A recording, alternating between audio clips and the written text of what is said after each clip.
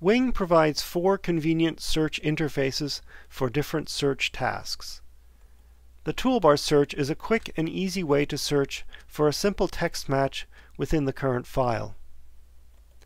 Keyboard-driven mini search in the Edit menu is a more sophisticated way to search on text and regular expressions in a single file. Notice the string entry area at the bottom of the IDE window.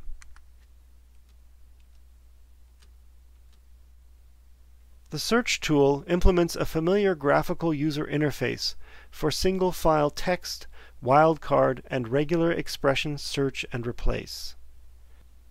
The Search in File tool's powerful multi-file search and replace capability allows searches to operate on all files in the project, all open files, or within a selected directory.